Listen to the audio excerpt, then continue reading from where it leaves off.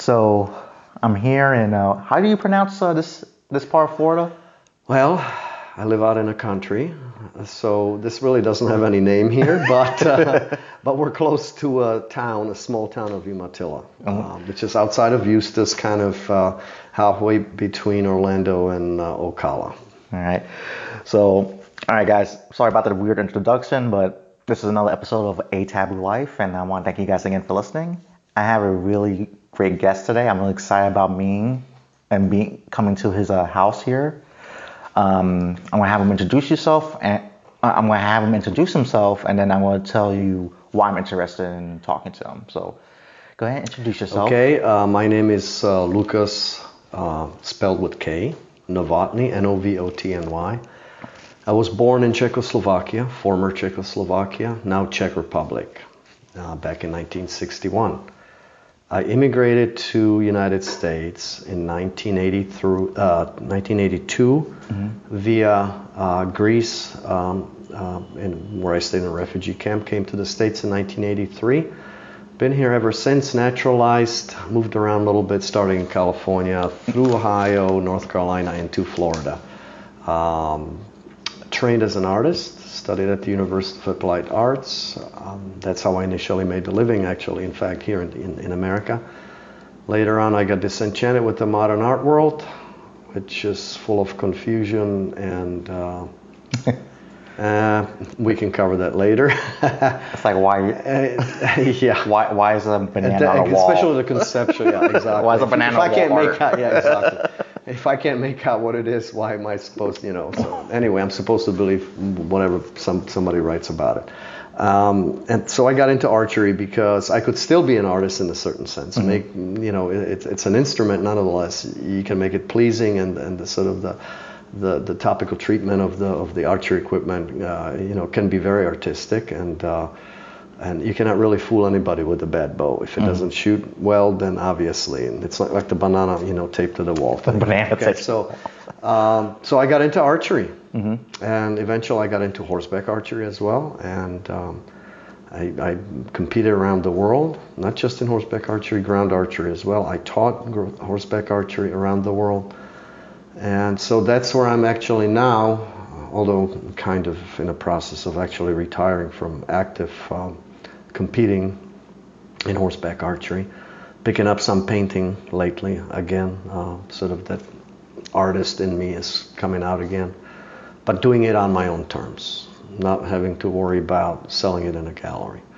And so still relying on the bows as the primary source of income and livelihood, which I still love making bows. So, I'm excited. so that's basically the history of Yeah, I'm excited about taking a look at your bows because I was looking on, on your website. Yeah. They're beautiful bows, and I brought and I brought my bow to show uh, Lukas today too. So he's probably going to think well, this is pretty cheap, but No, it's okay. The reason why I'm excited about actually interviewing you because um, since I've been wanting to get into archery for a long time, and the last part of uh, last year, I finally got into. it. I decided to go train in Mongolian archery. I've been Mm-hmm. training myself, and uh, your video from I guess CNN did a video yeah, on yeah, you, they, yeah, their channel. I was watching. it, I was like, man, this is amazing. Yeah. so he does horse horseback archery. Yeah. And um, won't you won't you explain what is that? Okay, it's basically archery combined with horseback riding, simply put. It's an ancient martial arts discipline. They used to call it a queen of martial arts. Back in, in fact, for example, in Japan, before the um, peaceful period of when the uh, shogunates were actually being united, starting under Hideyoshi, before that, prior to that, uh, it was called the way of the bow. So the primary weapon of a samurai was actually bow and arrow. Really? Was not really the sword at all. Why? sword was a sidearm. Yes. was a backup weapon because I know a backup weapon. I remember reading about history that the katana was a backup weapon, but the Mm-hmm. primary weapon was the long staff, right? No, it was actually bow and Oh, arrow. that That's okay. how they rode out and fought. You know, all, all the rest. Of course, they were trained in using the, the katana. They were trained to use the, the spear. I, I forget the names of those things. You know, Mm-hmm. they, they all have particular names. But anyway, so and then of course everybody's aware of Genghis Khan, Mm-hmm. right? Or Genghis Khan. Um, uh, Mongol warlord from the 1200s who united the Mongolian tribes and conquered basically. I was probably the largest empire ever. Not even a Rome could could basically rival it because it was from China all the way to Europe. And uh, in fact, they've managed to go all the way to the gates of Vienna through the Balkans. But because of the death of uh, uh, Kai, um, uh, uh, Khan, they had to return for back to Mongolia for Kurultai, which is the election of the Khan, and so the the conquest of Europe basically stopped right there. So that's what saved Europe uh, from the Mongol hordes. But um, yeah, so uh, it was it was the and then uh, what- what's amazing about horseback archery because of the tactics that they used and, and, and a bow and arrow is a sort of a primary weapon um, it was kind of a blitzkrieg so then we go into world war ii and all the even before prior to that the, the tactics of genghis khan were studied obviously Yeah. Um, in uh, military academies uh, for, for the longest time and till today you know they're studied uh, Yeah, I remember. I there's this podcast uh, called um, Hardcore History, mm-hmm. and it's by this guy named Dan, Dan Carlin, and he did a, a entire series called The Wrath of the Khans. Mm-hmm. It's a five episode. Each episode's like four or five hours, just studying the and Right, it's just amazing how yeah what happened in that small period of time. Exactly. I read a lot of these books. There are wonderful books out there on the subject. Um, um, it's very intriguing to sort of see. Um, you know, mo- most of us think about Genghis Khan, and uh, he was a basically illiterate man, uh, but uh, extremely intelligent because he was able to unite the tribes, create a language for the Mongols, using other people and other people's cultures uh, to advance his ideas and his empire. You know, Pony Express, paper money, uh, all these things opened the roots. Basically, Renaissance happened because of Genghis Khan. Yeah, the Silk Road, right? The Silk Road, yeah. He opened it up, made it safe. You know, not that it wasn't there before. Mm-hmm. Okay, it was, but there was already trading going on. But he made it really safe. Yeah, because it said that a woman could walk from one end of the Silk Road to the other, and so nothing would happen to her because Mm-hmm. Yeah. while he was around. Exactly. Yeah, yeah. So he brought lots of good things uh, uh, uh, into the world, and and um, basically kind of the civilization civilization surged forward because of that. Yeah, there was a lot of bad things that they did, but Mm-hmm. Yeah, didn't. was- in the- he was genocidal. Those were different times. You know, we look at it as oh, these people are so cruel. Well, you know, we don't have to look that far into the history to find Yeah. that um, we can. We're we're all capable under uh, the right circumstances to do very bad things. Mm-hmm. Okay, we can. Know, we're certainly capable of that. So Yeah, it was that phrase the the line between good and evil runs through every person's heart. yeah, yeah, that's it. That's just the nature of a man. You know, we're not perfect. So, Mongolian horseback archery, how did you get into it? Ah, well, okay, that's long story short. Um, when I was growing up as a child back in Czech Republic, there was a series um, by a German author whose name was Karl May. And he wrote this series on um, this um, Indian chief whose name was Winnetou. It was an Apache. It was a made up story, but never mind. Uh, and his uh, friend, uh, who was called uh, the nickname that was given by the Indians, Old uh, Shatterhand. He had such a hard punch that he could knock a person out with one blow. Okay, so and uh, so this and, and he was original, I think, German or something like that. And and so they these two became friends, and the, the whole story is built around that friendship. Okay, and they made movies. Uh, I think it was like back in late 60s, early 70s, and, and I read all the books. And, you know, I, so every child in Europe, actually, they're crazy about the Indian and cowboy stuff. Okay, so of course I was playing the Indian cowboy stuff. And that's probably how initially this interest started by reading and getting to know the, the especially the Plains Indian culture. Because since I was a child, I loved horses. I was a small kid. Uh, the very first thing that I ever drew, okay, uh, I no longer have that drawing. I have some very, very old drawings from when I was a child. But my grandmother told me before she passed that um, I drew a horse and a turtle. Okay, so, and I was Yeah. apparently two or three years old. Okay, so I, I can't vouch for that, but that's what my grandma said. Okay, anyway, Uh, I, I obviously exhibited like artistic abilities from early age. That's why I ended up, you know, um, at, at an art school later on in my life, uh, going through um, adolescence. And um, so that kind of that was the seed. Okay, of course, growing up under communism, I had a wonderful childhood, even though that I grew up under communism, because as a child, you don't really recognize, if you have nothing to compare it to, you do not recognize things, uh, uh, you know, uh, as being necessarily bad. You know, obviously, as I grew older I, and I saw how the society was structured and how things worked, that's a different story. Mm-hmm. But being a child, you don't worry about these things. You know, I, I ran outside with other kids. You know, we played war, Indians, cowboys, uh, Three Musketeers, whatnot. You know, we made our weapons. You know, we, we didn't have cell phones to stare into. You know, and uh, so um, there was a kind of a childhood that I had and uh, that kind of stayed with me. Um, I went through the schooling. I went to the uh, the middle school, um, arts and crafts school. Um, it was specifically oriented towards glass, glass because I come from a particular part of the country that it's steeped in the history in glass making, going back to medieval times. Yeah. And part of my family was in it, involved in it in one one way or another. And so I kind of naturally took that route. And so, you know, you got 15, 16, your interests kind of change. You know, you're looking, you're looking at girls and, you know, the, the normal stuff the boys do, right? and uh, then I applied to go to the University of Applied Arts in Prague, this famous school where this um, very famous professor taught, very well recognized even in this country, mm-hmm. if you mm-hmm. know anything about a modern uh, glass, especially. His name was uh, Libensky, Stanislav Libensky, and I studied under him. But I did not finish the studies. This was in 1982. well, I went to school in 1980. I didn't get in the first time because this, going back to the political regime there, my parents were never members of the Communist Party. So although I found out later I had the best talent exam that year, I was at, right at the top, which should get me into the school, right? Mm-hmm. Well, that wasn't good enough because my parents were not members of the party.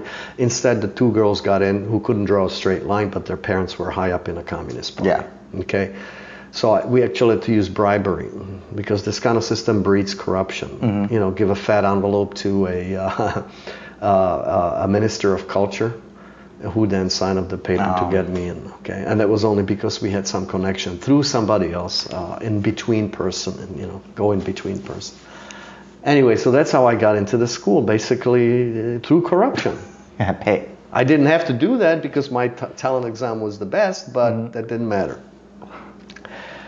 So never finished the school, and then came to the states. Uh, and uh, we had to go to the refugee camp, which that alone is a, a long story. Uh, there, you know, it was pretty tough. That made me grow up actually, because I was 21 at the time.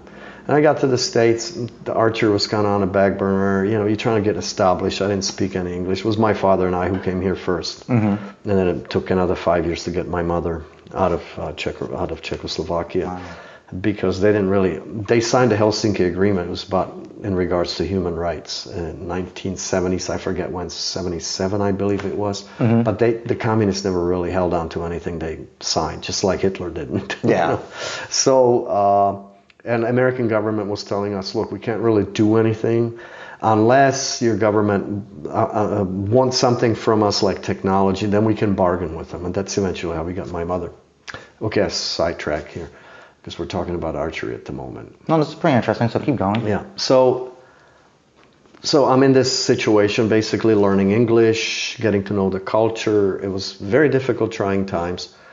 You know, we had a Catholic charity that took care of us actually initially when we came here, which was wonderful because they uh, they were extremely helpful in teaching us English, uh, teaching us uh, how to write a resume, helping us find a job, and they did a tremendous job doing that. You know, for the, mm-hmm. for the refugees because you know on the papers when you applying to immigrate to the United States, they ask you what religion you are. Not that we were practicing Catholics, really. Yeah. We were. I was baptized as a Roman Catholic, so was my dad, basically. So I didn't appreciate it so much then as I do now, basically, to see what the church really done done for us. But anyway. so going through these uh, to, to, basically establishing oneself in, in the country, um, getting job, you know, learning English. It wasn't until one day uh, later on, like maybe I would say a couple of years later, uh, we moved from South Southern California to North uh, to the Bay Area in, in Northern California, and we're driving on this road, uh, and then there's like big sign archery shop. and it kind of like sparked something. Okay? Yeah. So my, I said, Dad, pull over, pull over. You know, my dad was driving, and so we go in there, and this was in the early '80s, so the compounds were just becoming prominent. Okay, so I saw the wall of compounds, right? And I'm looking for a bow. well, I knew they were bows, but it's like, yeah, this they look weird, man. What is this? You know. but in one in a corner there of the shop, there was a there was a section of the traditional archery tack, right? Like, and it was mostly what he had there were uh, Martin archery product, like ML10 longbow or the Howitt uh, recurve. I don't know if you're familiar with these. These are from the old days, Martin archery. And I went to that section. I'm still looking at it, and I just about asked the guy you know, to hand me one of these bows over so I can look at it, maybe try it out on a range. They had an indoor range. And but I said, what do you want this for? You know, this this is old S-I-S-H-I-T, you know, don't, you don't want that? you could curse him Yeah. Uh, no, you got to get one of these modern things. So my dad talked me into buying my first compound. Yeah. Okay. And it was a Martin Lynx, 25% let off, you know, today, it's like today they have 85% let off. So I brought that home and I started shooting and I got really bored and tired because after about a month I could shoot like lemons off of a lemon tree that we had in the yard, mm-hmm. in the neighborhood. And I said, ah, it's not really archery, you know. So I, I, went and I saved money and I secretly bought me a, a the longbow, the ML10 longbow. Kicked like a mule, doggone thing will take your arm off. But I became, you know, it was a challenge, but I, I like the challenge. Mm-hmm. So and that's how I started. Okay, and and I went hunting like in Nevada with my buddy from work, and uh, uh, then one on that one particular hunt, I realized uh, how handicapped I handicapped I felt with a compound bow because I had opportunities where I would just walk onto the buck in a bed, and it's like, and I startled him, and he would get up looking at me for like maybe three seconds. And you know, before I actually went and looked through the peep sight onto my pin sight up front on a compound bow because it was an instinctive shooting, mm-hmm. the damn thing was gone. If I had a longbow, I'd just, you know, he'd be dead. He was from here to the door. and so I said, no. That day, I put that compound down. Now, I'm not saying that there's not anything wrong with a compound yeah. bow, okay? If the guys love it, great, because I'd rather see guys shooting accurately instead of running around maiming animals because they don't know how to use traditional equipment. Yeah, just kill the animal quickly. Exactly. So. So, but but to me, that's not really archery. I call it training wheels. and some somebody listening to it may get insulted by that. I apologize. No, no, I, no, I get it because like um, the range I uh, have a membership to, they want me to buy a compound bow because they see me with a horse bow and they like it. But it's like, no, you used to buy a compound bow. Mm. So I, I, shot one of the compound bows they had at it. Mm. I, I didn't like it because it was too easy.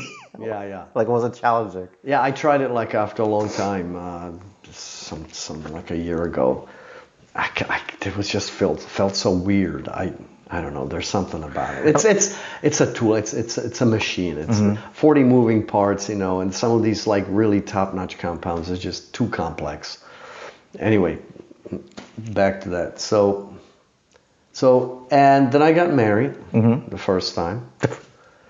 and I'm married second time now to my uh, present wife. Mm-hmm. Um, and um, I moved to Ohio. Yeah near, outside of Toledo in the small town of Grand Rapids, and we had a farm there because my my wife then was established fairly well in uh, glass uh, blowing um, circles, like as an artist, basically independent, and um, studied with a man named Labino, who was like the Dominic Labino was like the uh, sort of the godfather of the modern art glass movement in America. Mm. So she studied with him and she kind of inherited his studio and, and, the property. So that's what I came into, and uh, that's at the time I was still making glasses. I was making a living, glass sculpture, okay, not not some knickknacks that you see over there, St. Augustine yeah. sell. No, it's like you know, I was published. I was um, part of shows uh, in Chicago, you know, in places like that, in art galleries and and even internationally. So it wasn't like I was a complete unknown. And I did a lot of corporate stuff, commissions and stuff. But that archery was there, that little flame was still in there, right? And and as the time went on, I don't know, I got disenchanted with the modern art world. I always felt like when I did a sculpture, I was like selling my own kids, you know. How do you sell your own kids, you know? uh, and I saw there were so many, you know, bullshitters out there. If I have to say it this way, I don't know if it's okay to say. No, you could curse. No, it's like No, I'm not gonna curse like really badly, but this is the good word to put it, right? yeah, it's like uh, what in we modern art, you know, this conceptual art, somebody piles the sand in the middle of the room and they, they write 10 pages about it, what it means, and then you're supposed to like swallow it up, hook, line, and sinker. Yeah, it's like what we talked about earlier about the banana on the wall. Yeah, yeah, That exactly. happened a couple of weeks ago. Yeah, yeah, and somebody pays How's that 50000 for it. I mean, you know. No, no, I think it was in the millions. Yeah, what? Okay, it's crazy. This is what I'm. That's a complete insanity. You know what I mean? Mm-hmm. And I had to. This is what I was fighting against. And the politics of it, you know. And I said, enough of it. I can't. I can't fool anybody with a bad bow, you know. Mm-hmm. And so that's I because already at that time I got the my I got the hands on this book of Jim Hamm. He was one of the pioneers of the of the traditional archery, the, the going back to the Indians. You know, he's a guy from Texas. I, I'm I'm sure he's still alive. He wasn't that old. and he, he wrote this little book on Native American bows. Know, I'm sure you can still probably look it up someplace. And I studied it. I read it 10 times over and I cut the wood down in the woods. we had 80 acres, so, you know, there was plenty of woods on the property. And um, then I had to wait to season it, you know, and it's like impatience. You got to season the bow? No, you got to season the wood before you can make the. What do you- You can't. what- You can't. You know, you cut it green. The wood. You So cut it at a certain time of the year, Uh-huh. and then you have to season it. What do you mean by season? Now? What, Season. You have to air dry it. Oh, okay. It has to sit air drying basically Oh. until the moisture basically Leaves. dissipates from the wood, wood. So it's not a 30% content moisture content, but rather down to 10, 12% is Mm-hmm. when you can actually make a bow out of it. Okay. Otherwise, if it's green, it's, you, you're gonna string it and you're gonna shoot and it's gonna stay bent. It'll take Mm, okay. set, what's called a set. And so, you know, that's how I started just as a hobby, just tinkering around. Of course, pile of broken kindling and stuff was usable for our wood stove. so, and then I got to know uh, Dean Torges um, from Southern Ohio, Ostrander, Ohio, outside of Columbus. Um, this man was became like the um, figure in, um, in traditional hunting and um, um, self bow making. Okay. Uh, he was uh, he was a professor, I think, uh, literature professor. He gave that up. He became a, a cabinet maker, and so that he, he really was a great craftsman. That that was to his credit because the bow that he made when I first time I met him, they were beautiful self bows uh, made out of Osage orange or other white woods, not just Osage, like oak and even and um, ash and other other um, uh, woods and so we became friends and i kind of learned from him a lot okay? So that's and so my primary focus was the plains bows the, the, the sioux cheyenne arapaho and all that. Com- comanche kiowa. I still have a whole bunch of them in the shop. And so i reproduced a lot of those. And then i realized well you know i grew up in czechoslovakia so it was formerly known as Bohemia. It was part of the Austrian-Hungarian Empire. Since the um, Austrian Habsburgs, they took over in um, early 1500s, really. Uh, after the political turmoil, after the Hussite uprisings in early 1400s, there was a lot of political turmoil, and so the Roman Empire, uh, the Habsburgs, they took advantage of that. The Austrian Empire, they took over Bohemia. We've been under them for 300 years, basically, until 1918, end of the World War One when we became independent again. Well, mm-hmm. never mind. but I always, you know, the stories floating around about the Turks, because the Turks invaded Europe many times, besieged Vienna several times, and you always heard about these powerful Turkish bows that could penetrate, you know, oak door, you know, and stuff like that. So it's really intrigued me, and I started looking into that. Mm-hmm. So I remembered as a kid, you know, hearing these stories, or even like fairy tales about the boyars, Russian boyars with their recurved bows, you know, because the Russian boyars they were influenced by the Mongols, obviously, yeah. who always, you know, in, controlled most of the Russia, really. Uh, later on known as Tatars or the Tatar Ilkhanate in, uh, of Crimea, and uh, so you know, I'd like to reproduce those, but the information was completely lost. We we didn't know, you know, how it was made. It was no literature on it, you know. I didn't know a thing about it. I mean, I saw a few pictures from the museums. This was before the internet. And I, uh, there was this one guy I met in one of these shows, these archery shows up in Michigan that were quite famous and large. And he says, Yeah, I know one guy He's from Wisconsin. His name is Jeff Schmidt. He's a professor of physics and mathematics at the University of Wisconsin. And I'll, I'll, just when I get home, I'll, I'll call you and I'll give you his phone number. I don't have it with me. So he called me back, sure enough. And so I contacted this man and spent like hour and a half on the phone with him, picking his brain. He was gracious enough to listen to me, to talk to me. Um, I ended up going over there a couple of times because he was the first man I knew who actually recreated something like this successfully. Because as you know, uh, beautiful things take generations to develop, and it takes only one generation to lose it, that skill.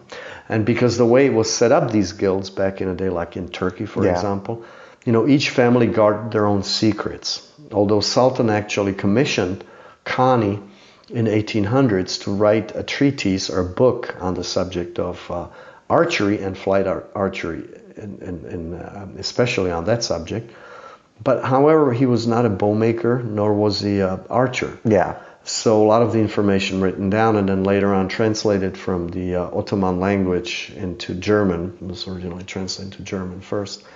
Um, there's a lot of like discrepancies, like what does this mean, you know? So we really, so that was the first book. So the Klopsteg that guy in, in Chicago had it translated into English. So this was the first book. I think the first print was in 19 late 30s, 1930s. In fact, I have one of the originals from the World War II. Oh, book. wow. Yeah. You couldn't find it anywhere. Um, anyway, so that was the first book I read on the subject. But like I said, because it wasn't complete information, a lot of it was probably something that he described, but he didn't really understand. So Jeff actually cleared up a lot of it because he already had the trial and error experience. Okay. So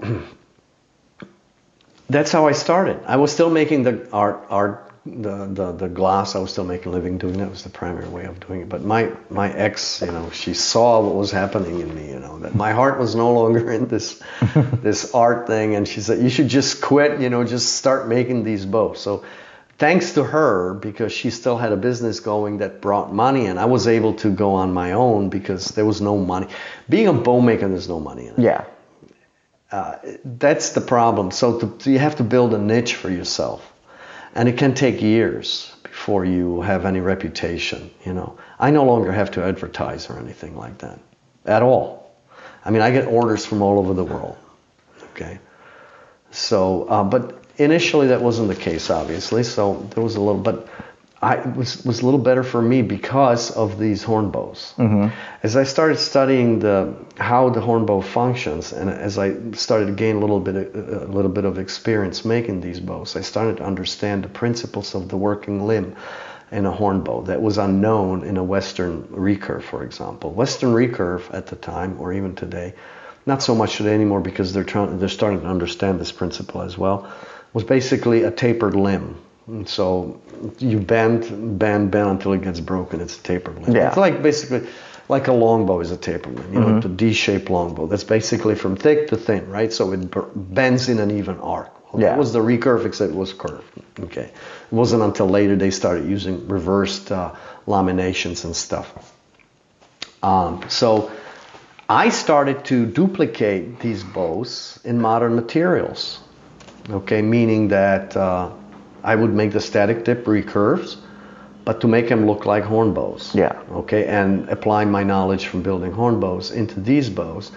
And when people saw the performance, the efficiency, I immediately became known because of it. So it totally set me apart like very quickly. and that's how my career in bow making started. So it didn't really take that long. So I, got, I had that niche. I developed that niche. So everybody knows me because of this, you know.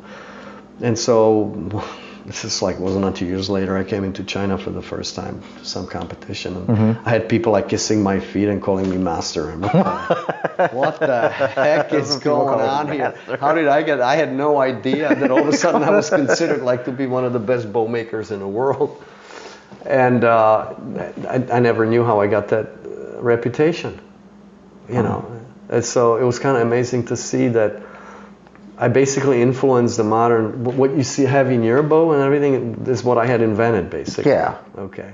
The principles of it. Okay. Of course, I don't get the credit for it so much anymore, but that's okay. I, I know where it came from, and that's good enough for me. You know, you brought it back.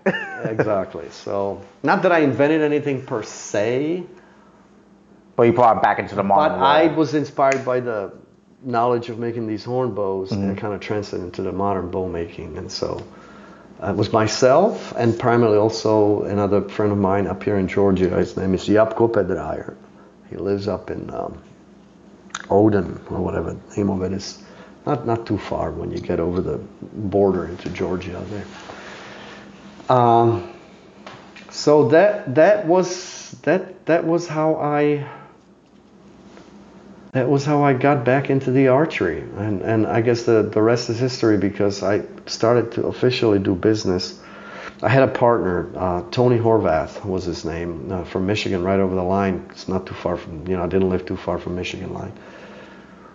He was working for the Ford company as an engineer at the time. Very talented man. Uh, we became really good friends, so we kind of did it together to get it off the ground. Obviously, there was not enough money for him to feed his family from this. So he, he we, we, we didn't have like a bad party or anything. He just says, look, I can't do this because, you know, there's just no way I mean, mm. between my work and this. So we kind of parted company. We're still friends. He's a great guy. Very excellent artist too, painter. And um, so I, I've been in it ever since, just alone. I try to have people work for me, but it's very difficult to find honest people. I, I have to be honest to say it this way. It's difficult to find today people there is no longer that sense of apprenticeship that we used to have a couple hundred years ago. You know, um, you teach somebody and they run away with it, and then they uh, uh, say they came up with it. They don't give you credit, or worse yet, they steal from you your knowledge and your ideas in other ways, or use something that you didn't allow them. So I mean, so that's one of the reasons I never really made the business big. I keep it exclusive. I'll never become rich, obviously, but that's okay because um, you know I could have done that ten times over to hire people and work. Yeah. I'd, I'd, become a manager then. I wouldn't have any creativity, time for creativity. Creativity, I should say. So, um, so basically, that's kind of the, the, history of it. Back in 1997, 98, around that time is is when I kind of we went officially into the business. First with Tony, and then a couple of years later, it was just me. So, and I've been doing it ever since. So, yeah. Yeah. So how do you get into the competition part? How, because you actually have a range here on your property. Uh, yeah. How did I get into com- competing? Well, and just to specify, he does actually horse-mounted competitions mm-hmm. where he actually rides on a horse mm-hmm. and shoots from the back. Like it's amazing. Yeah. It's um, okay. So let me let me put it. Okay. So when I got married, I got married in 1989. Mm-hmm two years after I, I Yeah, I, I, moved to Ohio. Now, I loved, the, as I said, I, mm-hmm. since I was a child, I loved horses. For me, this animal is magical. Just seeing it move, and it's like, you know, it's, it's, it's incredible just to watch it. So as, as, a kid, I was dreaming, you know, riding horses and stuff, but it was impossible to own a horse in Czechoslovakia. It was communist, this bourgeois thing. Okay. Mm-hmm. Uh, but then again, if you're a member of the party high up, we call them red aristocracy. You know, that's the problem with the left. They talk about equality, equality, but in the end, they become the one in the ones in power, and that's who we call the red aristocracy. And you've got the class below them that's the same way off. it's just oh you know, all miserable wretches, you know, uh, being ruled by these people.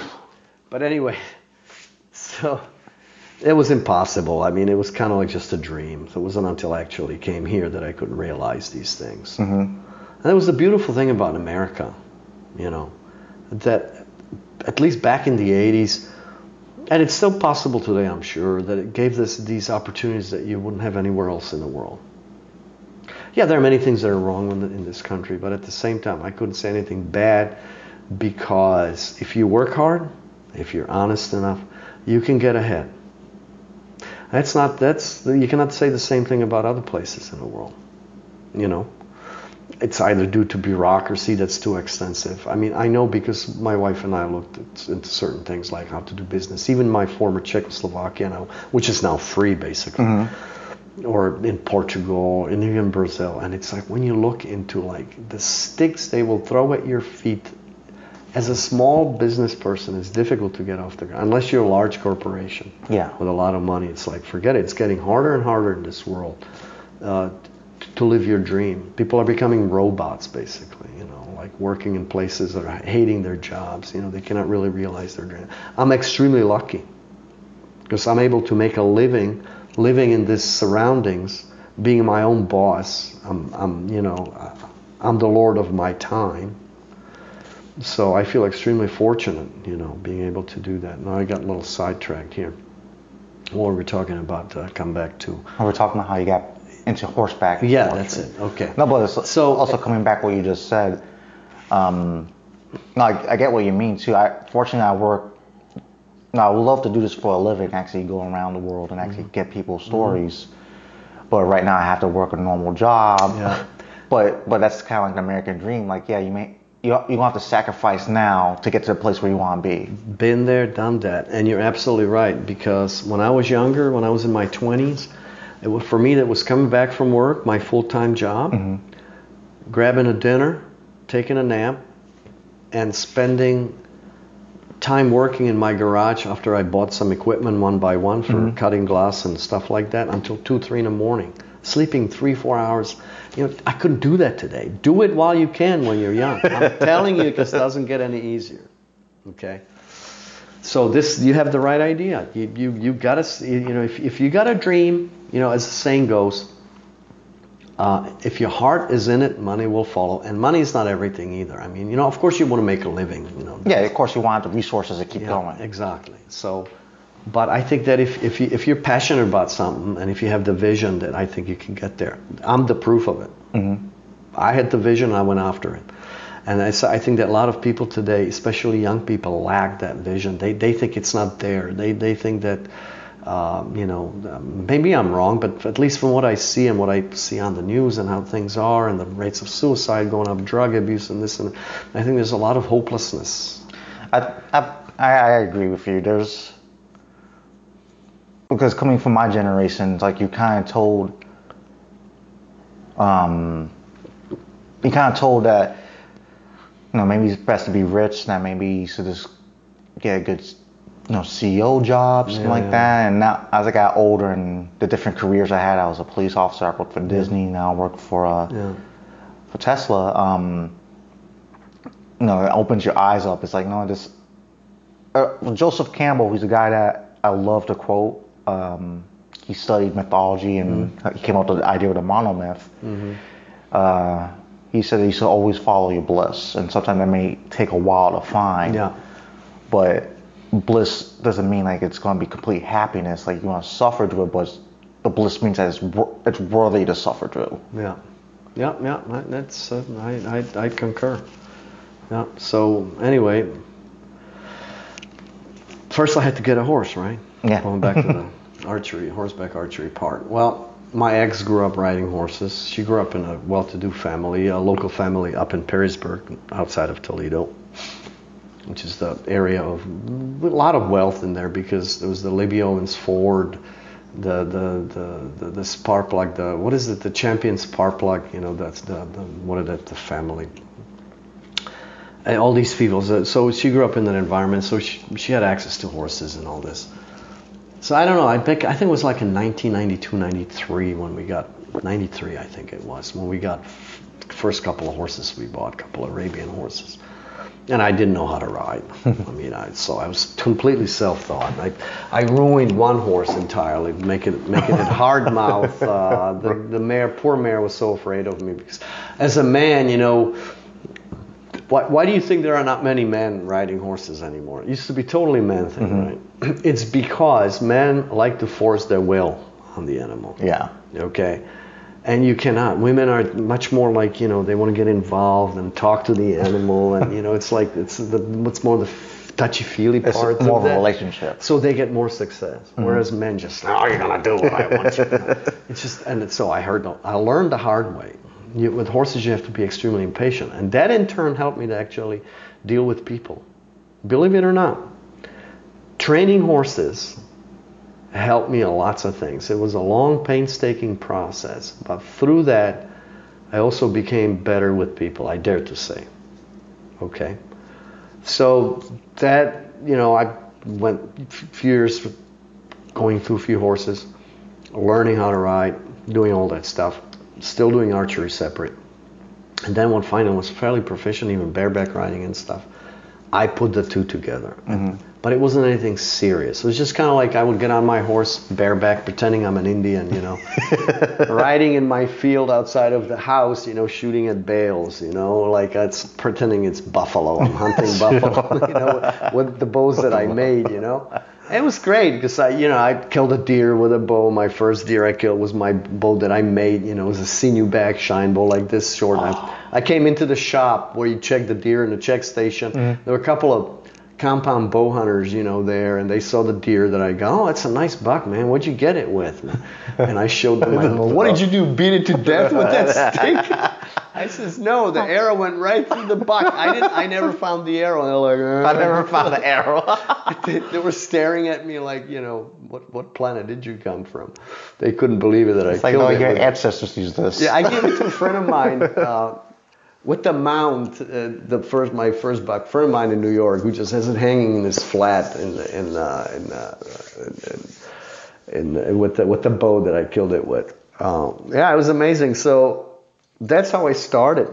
Nothing serious, just fun. I never knew there were like even other people doing it. Okay, nobody was doing it except one man in Hungary. His name is Lajos Kassai. Uh, you probably you you'll find him on the internet if you just punch it in Lajos Kassai. He's kind of a godfather of the modern horseback archery. Now I don't agree with him on many things, his philosophy and approach to horseback archery, but he was initially my inspiration, and I admired him greatly for what he has done for the sport. We had our differences later on, but. Uh, probably still do today, obviously, because of the way we approach the sport a little differently. But uh, he's an amazing man with an amazing skill. You know, by far, in his sport and this, the type of a track that he practices, that he developed, he's he's unbeatable till today. Okay. I did beat him twice. Mm-hmm. One time in a serious competition. I'm the only one in, in the world who actually did. I, I, I'm gonna brag because that's Yeah. something to brag about. And I beat him one time in semifinals, and the only reason I didn't go into the finals is because it was an Al Faris competition in Jordan.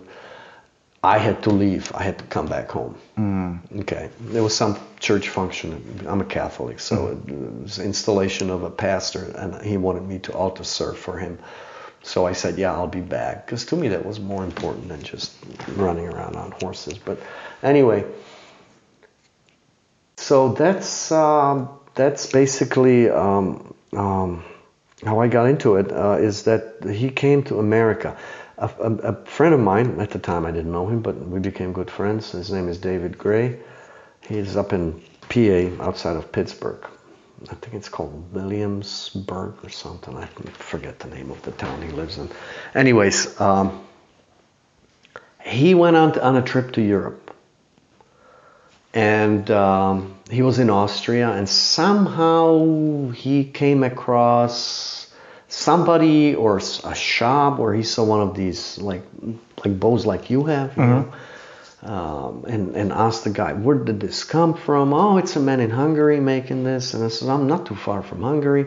I have a rental car." He found out who he was, where he lived in Kaposmeros, south of Budapest. There, uh, I- you know, got his phone number, called him up. Can I come? Sure, come on down. He spoke not very good English, but good enough.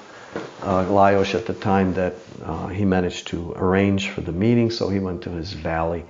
And when he saw him doing it, he was so impressed that he thought about it. And it's like, how can we bring this guy into America and like have him put on a show at one of these big, big shoots that we have up north, like in Michigan. Yeah. At the time, it was called Longbow Invitationals, you know. And so it wasn't just a 3D shoot and a competition, but also a lot of vendors, you know, mm-hmm. coming from all over the country to sell their bows and stuff and arrows. And so he brought him in 1988. He brought him to America at, at to Berrien Springs in Michigan, and I was there with Tony, the partner I mentioned initially, the, the, the man that I did the bows with. We had a booth set up there, and uh, you know, so uh, I was so excited because I knew that you know this was coming in, you know that, they, that we were waiting for them to, to drive in from Pennsylvania, and they, they came in, they settled, they got the horses taken care of and everything. They built the course the next morning, the track, you know. I know Lajos had like a few days only with the, the getting a good horse because not every horse is gonna take up horseback archery. Yeah. It's like people have different talents for different things uh, or abilities, physical abilities of a sort. You know, not, not everybody's going to be a power lifter, or not everybody's going to be a you know runner or whatever. Yeah. So, um, so you, the same with the horses. They have different talents for different things. But anyway, he got this horse trained, and then I saw it, and I saw, my gosh, this is incredible. It's like watching a ballet on a horse. This guy's so good, you know, shooting six arrows on a run, a 90 meter track, making it look so effortless, you know, and uh, I got really intrigued. So we became friends. We, I talked to him. And David, we, when we sat down with Jaap Koppedrayer, the guy that I mentioned in Georgia here, and his wife, and he says, we should do like a festival, archery festival, and bring this guy over. Maybe we can like have him teach this skill, you know, to us. And they found a place out in Iowa, in the middle of cornfields, Fort Dodge, Iowa. But yeah, it was tucked away in the middle of nowhere, but at least the local community was like willing to put up some money, give us the fairgrounds. We got some sponsors. There was a, a lady there, a teacher, a local teacher, who was really good at writing grants, you know, and um, asking for money. So that's where we started. And um, I was kind of like his right hand man uh, because I was probably the most skilled at the time to even like help him out since I was already practicing a little bit of that horseback archery. And so we became really good friends and I learned from him. He wasn't a very good teacher. It wasn't just because of his English, but uh, he, he just wasn't a good teacher. I, you kind of had to learn from just watching. Yeah. I mean, the only thing he ever explained to me how to do was uh, how to do back shot, the parting shot, or the Parthian shot. The back shot is when you actually put Yeah, the bow yeah. behind your back. And, No, No. that's called the Yarmaki shot. Uh, just basically shooting over the rump of the horse, just the regular way. Okay. Okay, so you know the, the seat, the position, how you shift your weight, and all this stuff. And uh, so those those were the beginnings, and that's that's how I s- slowly started developed um, the skill. We went over to his uh, valley in uh, Hungary, in Kaposmérő, his this incredible training facility that he built. He was lucky because this was at the time when the communism was kind of like falling apart. Well, it wasn't wasn't falling apart. It got imported, I mean, exported under different names into Western Europe. Um, but the things were changing in those former communist countries. It was becoming more free, at least mm, economically speaking, you know, more capitalist-like. And so he was able to purchase the land. At the time, it was like a wild west. It was the same in my country. Okay, you could pick up a piece of land for nothing. It was like people's machinations that were half criminal, basically. You know, it was it was it was a wild west. So he came in at the right moment, and uh, because of the cheap labor and everything, he developed the, the building these bows, and the, the labor was cheap, and he could sell in the West. So there's money coming in left and right. So he built this incredible facility. Okay, he's got an indoor track covered. Okay, it's over 100 meters long. Okay, to practice horseback archery, you know, in inclement we- weather. And then he's got an outside course. He's got practice, uh, just ground archery courses. It's it's it's. Then he built this like very traditional, like a in a tradition of the old Magyars when they there was the last invasion to that Carpathian basin. As you know, there were three successive ones from the Huns through Avars to Magyars, and uh, they built in kind of a style of that uh, of the architecture. I, it's not that they built something, but it's that it's a particular style, this old Magyar, because Hungarian is actually it's called Magyar, okay. okay, which which is the name of the tribe that came in there. Mm-hmm. Okay, Magyar. Okay, Magyar. Magyar. Magyar. Yeah, it's not. It's Hungary is. Uh, I don't know where that came from. It's an English word for it. Uh, Ungarisch in in uh, German, but the, the that's actually Magyar. And so, it, so I went there with four other guys: Pat Stoddard, Alex Tiberi, and Todd Dell. Those were the four of us. There was another kid, unfortunately, who was very talented, but he quit. I, whatever happened to him? You know, you got these people that shoot up like stars, light up really bright, and they just kind of peter out. Yeah. And so so that's that was the that was the beginning of the horseback archery. So I came back and we had some issues. We had a kind of like um, we drifted apart eventually three years later on over certain issues that I don't want to go into. That's besides the point. Mm-hmm. And uh, I became the basically the head instructor in America to do this to continue it when yeah. he stopped coming here mm-hmm.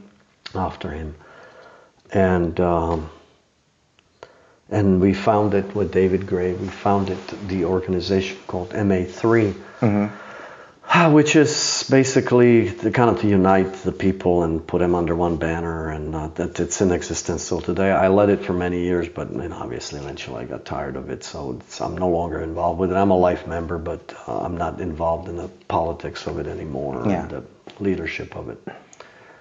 And so, yeah, and so here we are today, uh, years later, 20, 21, 22 years later, 20, if I count up going or starting horseback actually about 97. So I, I just wish I started earlier.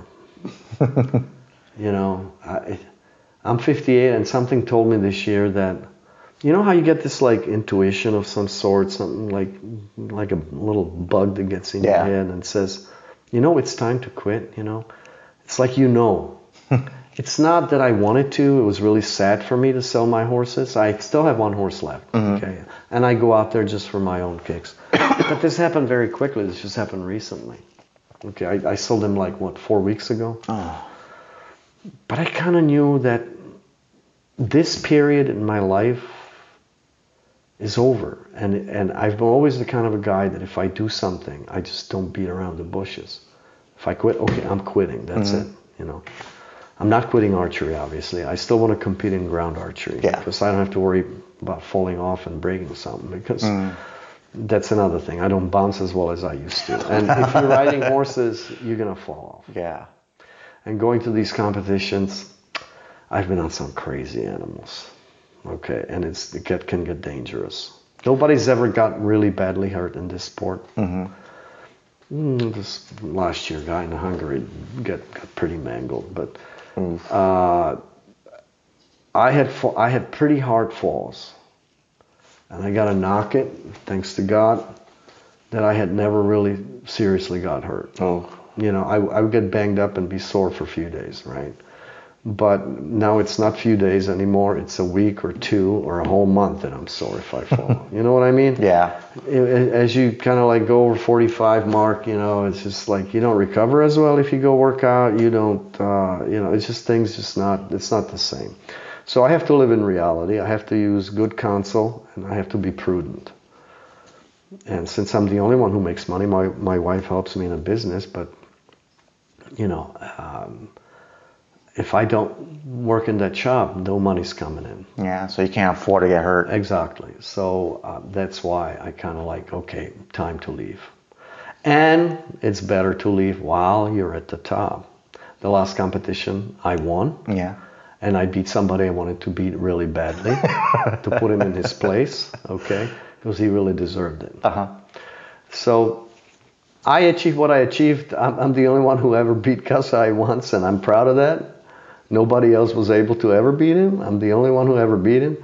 So I accomplished all these things. I, I, I won so many medals and so many things in competitions. And if I didn't place first, I would be second or third. I'm trying to brag. I'm just telling you, yeah, I'm proud of that accomplishment. Why not? You know, I, I did pretty damn good for myself. So I, I don't need to prove anything anymore. You know, I used to have a really big ego. I do admit to that. but I've kind of wised up since. I no longer have the dog in this hunt. So I just coach, do a lot of coaching now. I get hired and people, well, I go teach people archery and uh, ground archery or horseback archery, you know.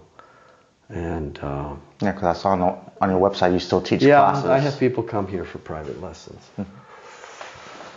So, in fact, I'm gonna have somebody come in like, they bring their own horses. This horse that I have is, is got a kind of a screwy head. Mm-hmm. He's very good, does horseback archery well, but once in a while something tick, clicks in there, and the, the screw gets loose, and he does stupid things and can fall off and get hurt. You know?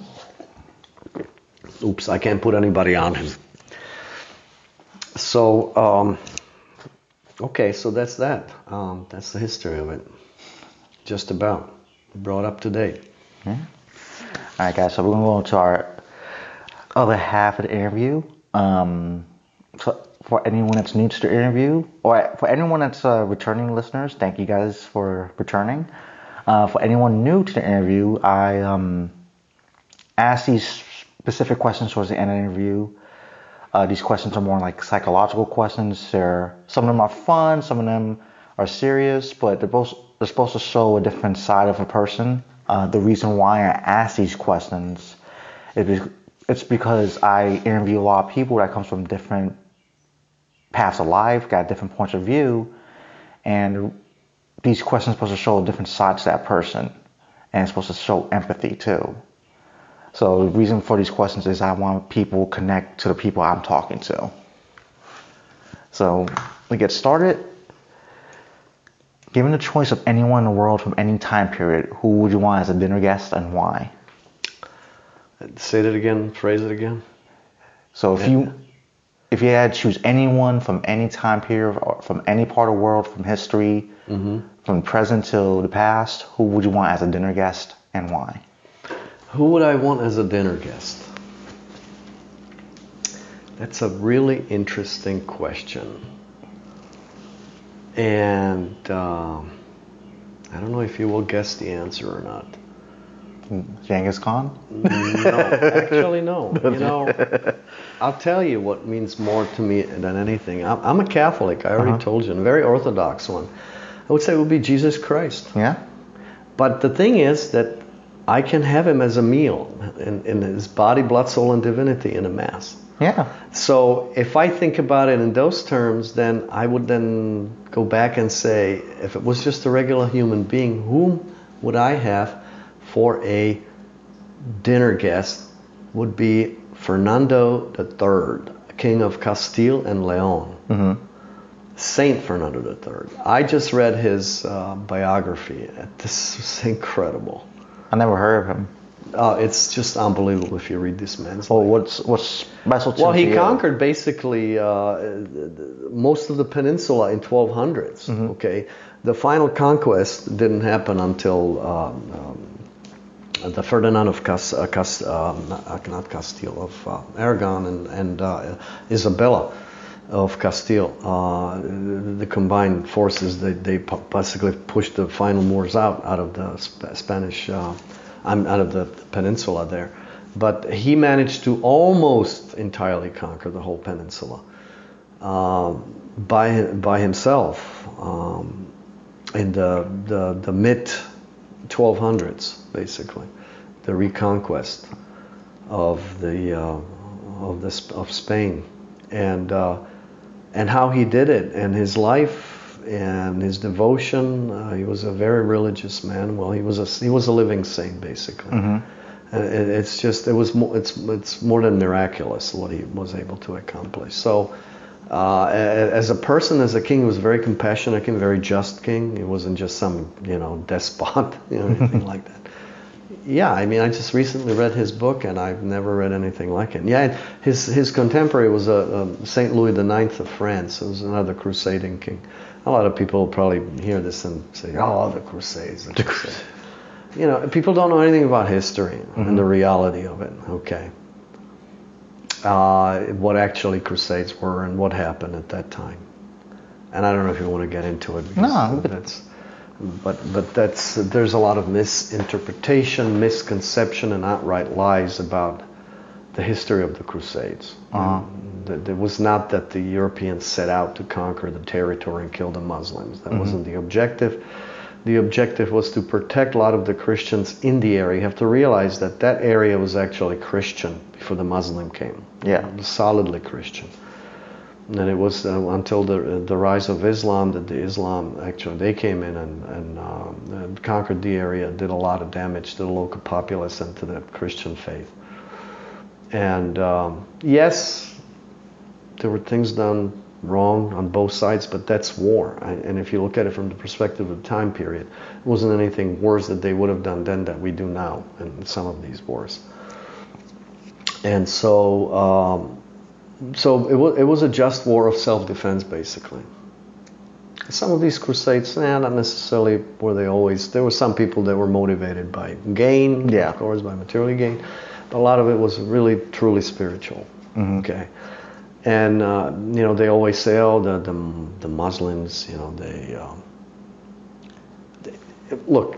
They, they came into the Middle East. They conquered the area. They adopted a lot of the local uh, customs. The trade went on just fine. There, there might have been a battle over the hill, but the people went on about business. Uh, Christians and Muslim trading and living together just fine. Yeah.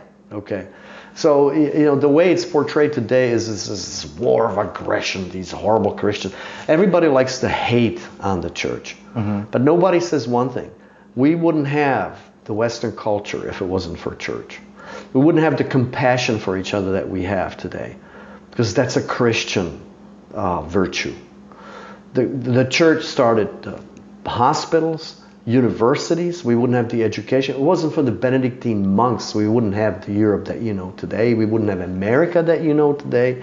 And that's what people are blind to recognize. But devil seems to hate the church, the true church, which I believe is the Catholic Church. If I have to get into the religion of it, but that's the sad reality of it. And of course, Islam has its good points. You know, they they've done lots of good things um, in science, art, and all this stuff.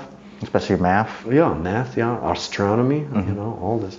And so even Fernando the Third, when he was conquering the peninsula, he always gave an offer to, and Genghis Khan did the same thing. In fact, look, if you surrender to me, you're just going to be my vassal. You can stay a king. You have to pay me a tribute, but I'm not going to screw with your culture. Yeah, he kept the cultures. Yeah, you kept to, but you cannot abuse the Christians. You're going to mm-hmm. have to learn to live in peace. And it was the same thing with Genghis Khan. In fact, it was in, that he had laws against intolerance. Mm-hmm. You had to get along, Muslims, Christians, and everybody in, in his kingdom. Now, I'm not saying he was promoting what, what we call indifferentism, which is like any religion, just, just as good as any other. Well, that's not true, but nonetheless, look, if you believe in something, the other person may not agree with you, but whether you like it or not, you're going to have to tolerate it somehow. He's your. This is this is your neighbor. So yeah, you're this is your neighbor. them. You know, love your neighbor. And that's one of the Christian principles. Love your neighbor as yourself. It doesn't say love your neighbor because he loves you. No, it also goes on and says love your enemy. Okay? Mm-hmm. That means you wish the best for them. And so people tend to forget their roots of the Western civilization. And so it's always a complex issue and it's really a touchy issue, especially in today when you have so much political correctness. You know, like when I see like being statues pulled down uh, because General Lee represented the Southern, you know, the, the slavery and all this stuff. Well, okay, it's a history. What are you gonna do about it? I mean, okay, it happened. Get Uh, over it. My thing is like, if I'll- there's not a reason to pull the statue down, and my thing is like, yeah, I get if like there's a statue that's celebrating um,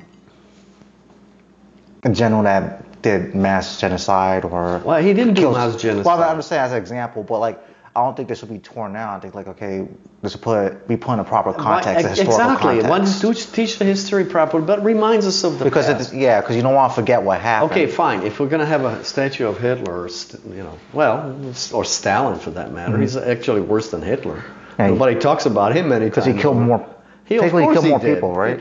My grandpa used to say that Hitler was a nobody. He, said, "Yeah, Hitler's nobody. This is like it's a pupil of Stalin. I mean, the, Sta- the Stalin was a real animal. Mm-hmm. It- the Stalin not only did he have more time to kill more people.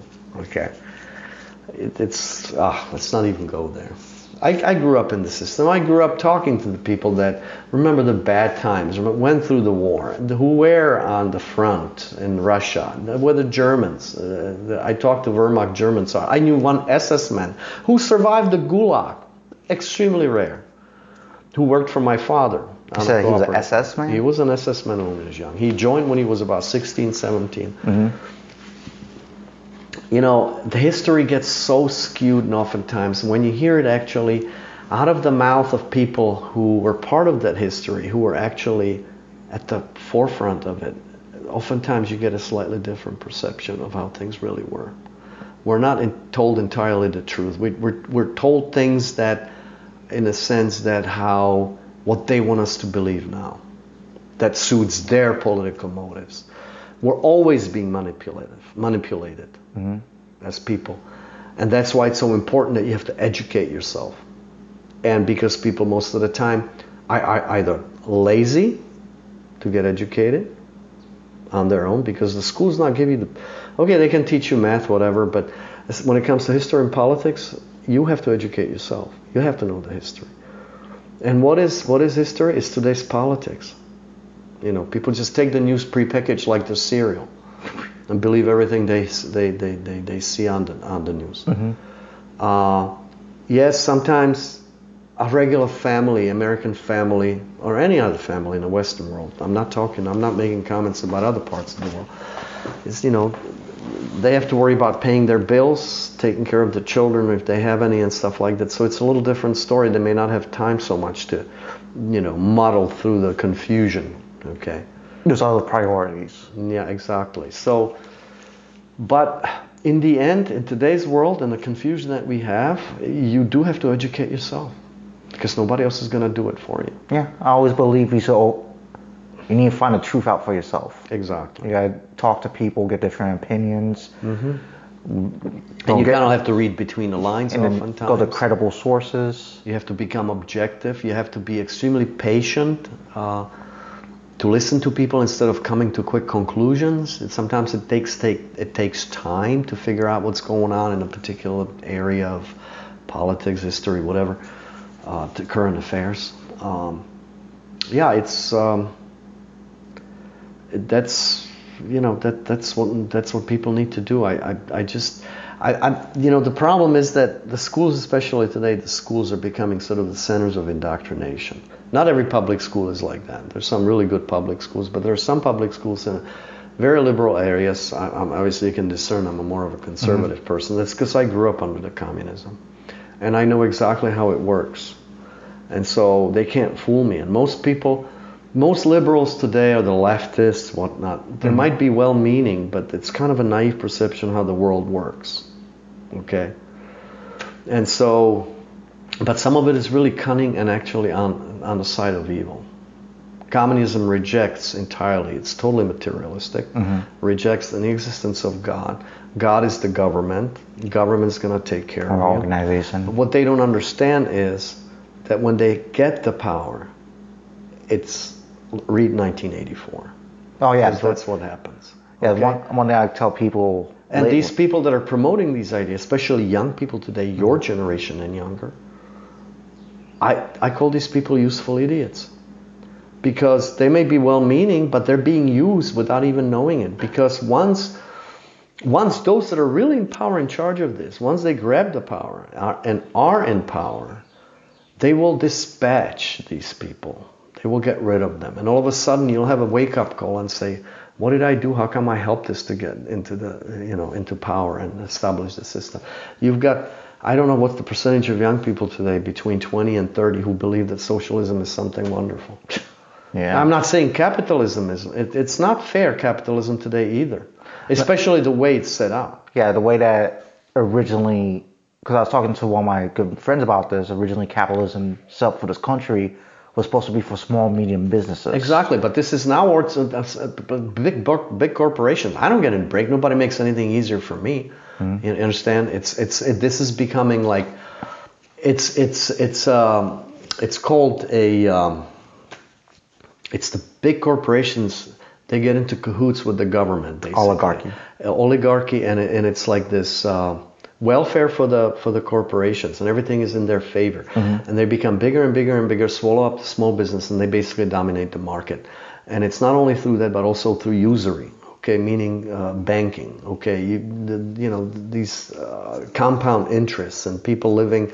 They entice you with buying things and getting into debt because you can't afford it because you want these things, and that's just the nature of a man to want things, I suppose. You know, the passions take over. Yeah. And so I gotta have this, you know, because it's gonna make me happy. And then once you get that, you're gonna have to do another thing. But I, you really can't afford it. So this system gives you perception of well, yeah, but the money's so easy to get. All I have to do is go to the bank, you Get a know. And if. I pay every month, you know, I'm gonna get that loan. And then before you know it, you're in debt up to your ears.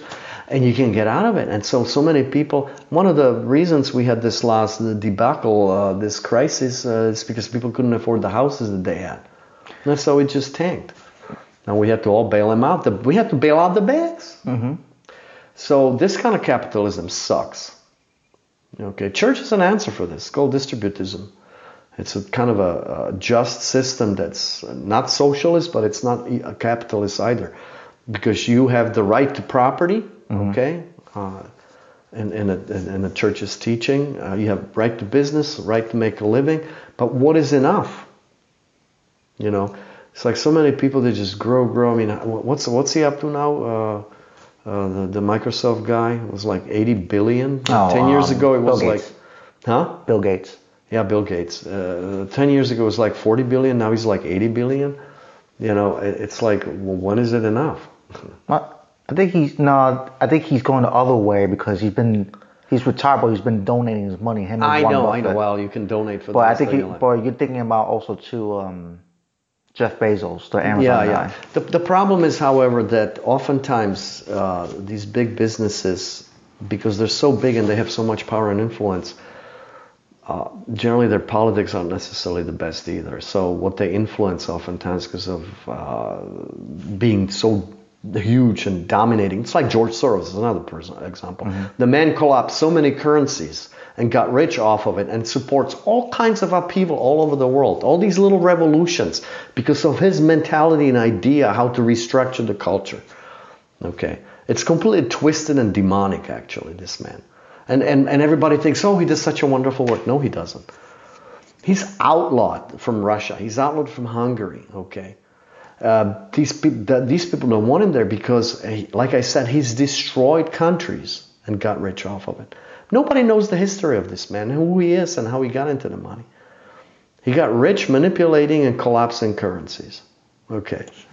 Yeah, the, the man is completely evil. His society is open society. Sounds wonderful. He promotes, you know, especially a lot of people who are liberal. But uh, it, that's the problem with some of this stuff that it just sounds great as an idea. Communism sounds great as an idea. Socialism, everybody's equal. First of all, there's no such thing as equality. There's always hierarchy in everything. You, I mean, especially if you- you're an artist, you're gonna have a domain. You have your well, own domain. it's not even that. It's like you're not everybody can be professor, and somebody's going to have to dig the ditches, unless you have a robot to do it, Mm-hmm. and somebody has to teach at the universities. Not everybody can be president. Somebody uh, in the army, for example, and somebody's general, somebody is a soldier. Yeah. There's a hierarchy in everything. There's no equality in anything. We are equal to each other only in the sense that we're human beings and we have the same basic rights. Okay, to, to, to liberty, freedom, and, this and that. Other than that, beyond that, there's no equality. So this sense of like equality on what level? Like income? Is that what you know? If you're good at something, you should be awarded for it. Yeah. Okay. You, you cannot pay the same amount of money to somebody who prunes trees and uh, and to somebody who, who who does something so incredibly uh, complex and uh, they, like brain surgery, for example.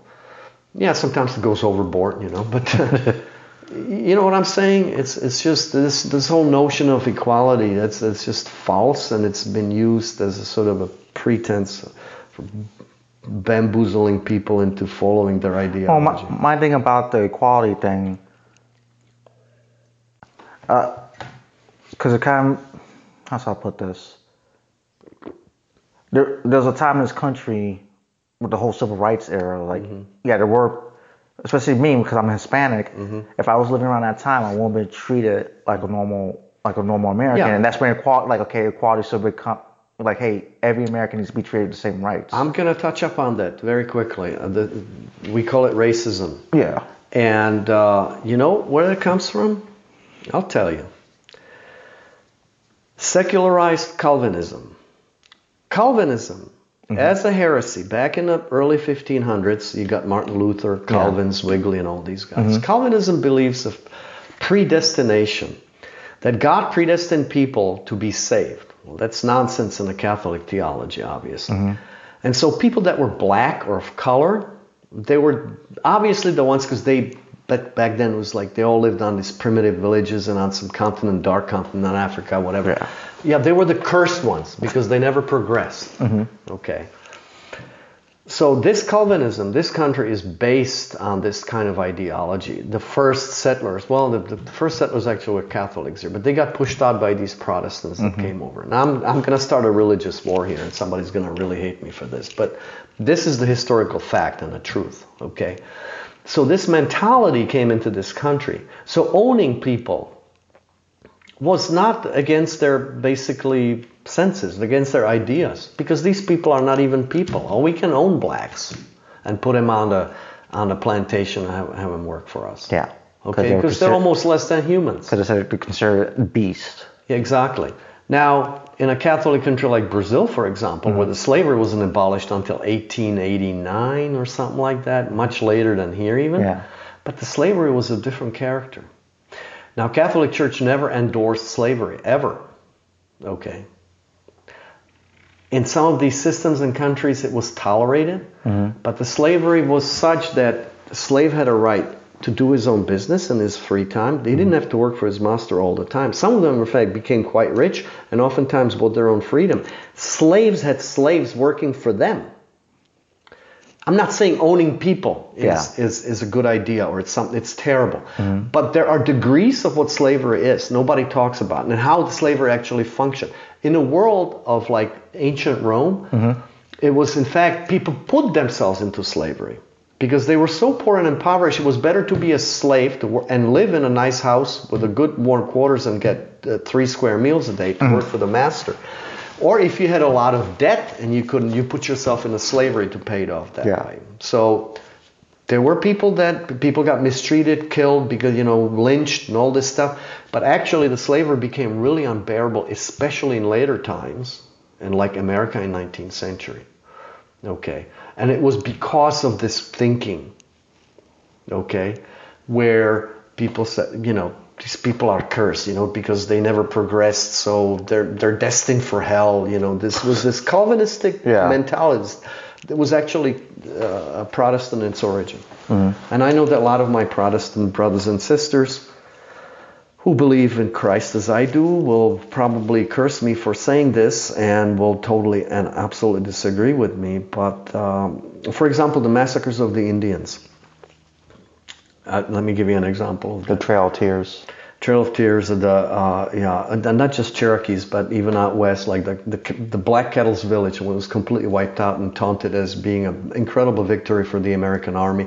No, they only murdered women and children because the men are were out on a hunt. Okay, it was in the dead of the winter, and it was led by Chivington, who was a former Protestant preacher. Okay, so that only shows you who killed these people. In Florida, in St. Augustine, when they landed Ponce de Leon in uh, 1565 they started missions and it was what's called the royal road okay? They started missions from the st augustine going up north into georgia and then going inland. Each mission built a school okay? The conversion was done done forcefully mm-hmm. okay? They started building hospitals taking care of the people doing school. The english came. Nobody talks about these atrocities. The protestant english came give you an option to the Indian that converted Catholicism. We either kill you or you convert to be a Protestant. Okay, they burned all the missions out. What the church had built, all these things that they'd done for the people here. Okay, for the for the Indians, who willingly then even converted. Okay, not not under derision or you know at the point of the sword. These missions were burned down and destroyed. Okay, hundreds and hundreds, if not thousands, of people killed by the British, by the Protestants. Okay, so uh, it was the same out west. Before anybody got there, Lewis and Clark, the Jesuits were already out in Montana and, and, and Wyoming, and the same in Canada, you know, evangelizing people mm-hmm. and bringing light into the world of the darkness. Okay, because there is a lot of this demonic and shamanistic, you know, we kind of like tend to paint the culture of the Indians as mm, it's wonderful, but I've been on these reservations and mm-hmm. there is a spiritual undertone to it and it's extremely dark. Yeah, they want to worship the, the you know, the spirit in the sky and stuff. So they have the notion of this one God, but it's not just one God. It's very pantheistic, or it's they have you know they worship the spirits too. And I've been part of the stuff in my younger days that would kind of give you heebie-jeebies as to what they do. Mm-hmm. Okay.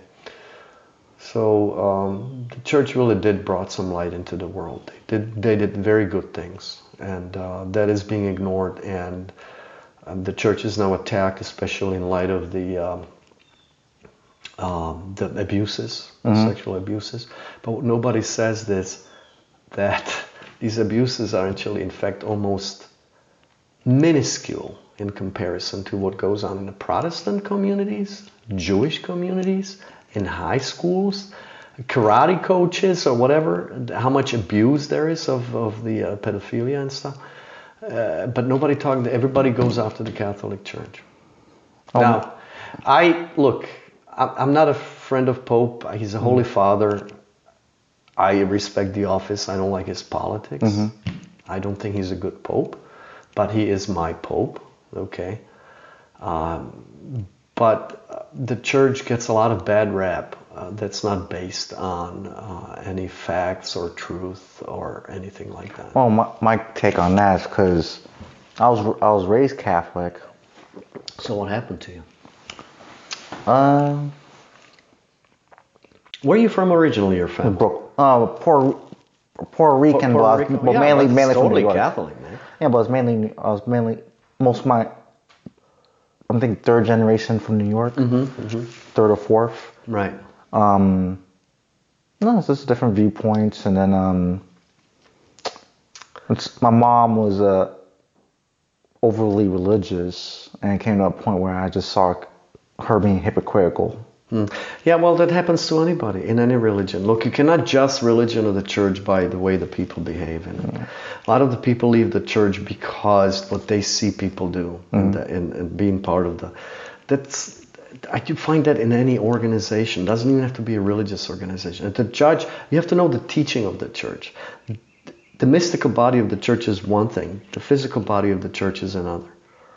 We're all sinners. So to leave a church just on pretense of this, where you see the hypocrisy, is actually no. You you shouldn't do that. You should actually to know how beautiful the teaching is. It's based on reason. Okay. You've got centuries and centuries. It's the oldest governing organization in the world. Mm-hmm. And Christ promised that it would never die until he comes back again. I was a Protestant for 17 years, though I was a baptized Catholic mm-hmm. and couldn't find a fulfillment in my faith until I came back to the church. I would die for this church. I would die for this Pope, even though that I don't like him. Okay? But I'm not a fanatic in the sense that I would go bash somebody's head in because they don't believe the same. Mm. Okay? Because it's a tolerant religion and it's a religion of love. Not many people follow that same precept because they don't know their faith. They say they're Catholic, but they're not in their action, in their life, they're not. And that's what you see, and that's why you say, oh, who wants to be part of this organization? That's how people judge uh, uh, the church, and that's why they leave it. And it's also because the church failed in the last 50 years since the council, the last Vatican Council, too. They failed in teaching the, the laity you know, how to be a good Catholic. and to follow Christ's, uh, Christ's teaching. You know, so um, that's basically it. Uh, that's why we're reaping the this becoming complete apostasy. And one of the reasons that, that we're in shambles and Europe is in shambles because they threw God out the window. Anything goes. They think the freedom is that your liberty is that you can do whatever you want. I mean, look look at today's like the sexual confusion about sexuality and all this transgender. People want to be the, the uh, called by their proper pronouns, whatever, Yes. whatever that means. Yeah, I don't like that. No, it, there's only two sexes. I don't care how you look at it. Yeah, scientific. is just Yeah, it's it's yeah, but It's- uh, it's a- but you, but you tell the truth, you can lose your job. Now, what kind of a nonsense is this? Yeah, it's like you're going against fact, like this basic science fact, like hey, there's, there's Yeah, only two. you, you just can't decide to be a man uh, when you're a woman one day. It's just you, that's against nature. You, two plus two can always will be four. You can think it's five, but it's not going to be. Do you understand? Mm-hmm. And so today people think that whatever they do is fine. If I think I'm a horse, I'm gonna run around like a horse. I saw this woman on the YouTube. Seriously. Uh, people that think they're a dog. People they think they can marry animals. And what else is next? Pedophilia, that we can have sex with little children? That that's already being in works. I mean, say, I, I knew what the, the, the, the, the gay marriage, I know this is all controversial. Oh my gosh. But, but two men can get married. I'm sorry to say, but the sphincter is not a sexual organ. It wasn't made that way in nature. Okay. It's not complementary to each other. I, I don't want to go into this, but you know what I'm saying to that. And the people that are listening, they know exactly what I'm talking even, even if they don't want to admit it to, to one another. It's just, those are the realities. Okay. And so uh, if you go against that, you're going to create chaos. And liberty is not that you, whatever you perceive to, to be, whatever you want to do at this particular moment, that it's some kind, no, you're slave to your passions. You're a slave. You're not free. You're a slave to whatever you decide that you think is right. Because you stop using your reason and, and you've been given over to complete insanity. And this is what's going on in this country. It's like insanity is taking over. Because what you see on the news and stuff, it's insane. They talk about it as if it's something normal. You know what I mean? It's mm-hmm. it's it's crazy. well, I'm not saying, look, I can't tell somebody, look, you can't be a man when you're a woman. I can, but I should be free to tell you. I should be free to voice my opinion instead of being shut down and not have any discussion. The reason we have like some of these shootings and stuff like that is because people are just simply they don't have an outlet to talk about it. They get frustrated because they're shut down. Even if, because if it's an opposing a view and opinion, you know, uh, you, you can talk about political issues, then oh, I'm going to go kill somebody. You understand? It's, it's all pent up inside. Also, there's no outlet for it. That's part of the problem. I also think it's some more factors to that than just that. It's. Of just course, of course, there are other other uh, especially psychological factors. factors. psychological drugs. A lot of it's drugging use, even legally uh, legal drugs. And so people are not hooked necessarily on heroin and cocaine or crack or whatever. Uh, just prescription drugs. A lot of the drugs that you think that uh, are supposed to help you actually cause depression, this and that. Yeah, the side effects. Yeah, side effects. So that also is a factor, you know. So, the, and this is the reason society has all these problems because we we got rid of the we got rid of God, and we believe in all kinds of nonsense, New Age stuff, witchcraft. Now Satanism is coming into forefront. What is Satanism? It's imitation of the Catholic Church in reverse. Why do they go to Catholic Church and steal the Eucharist, the sacrament, the Jesus in the cookie? Jesus. Why? Because it's real. Because Christ is present in that body, blood, soul, and divinity. They don't go to Protestant church. Nobody's interested in a Protestant church. There's 30,000 denominations. There's like, what, 30,000 Holy Spirits? No, the Christ founded only the Catholic Church. And we threw the church out. And when the church goes, so, do, so goes the society. There's nothing to unify us. You understand? There's no common credo. St. Thomas Aquinas, the angelic doctor, the doctor of the church, living in 1200s, said that society can only function if they have a common credo. If you don't have a common creed, you, know, you cannot function. Because all these opposing forces constantly working against one another. That's why leftism works on that. They constantly work. They have to have crisis. They, if they can, if there is not one, they will create one. Have you ever heard of Saul Alinsky, for example? Uh-uh. Okay, well, look into it. Look it up, Saul Alinsky, the book for radicals. Constantly create strife. Obama was his pupil. You create groups, come up with uh, scenarios, crisis, uh, people constantly fighting one another. Put them in this box and that box, and, and so there is always a division, never a unity. Okay, and so they think that by collapsing the present, the Christian order in the West at least, they're going to somehow out of that those ashes they're going to create this humanistic society where God is the human and the government, and never going to work. We need that higher authority. We need God's precepts. God is a creator of, of all this that we see around us.